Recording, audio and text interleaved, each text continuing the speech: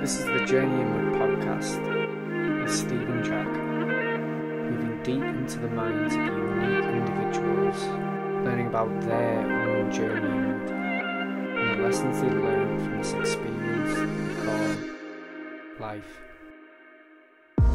you know, it, it was it was one of those things where there wasn't a great deal of optimism around around the town where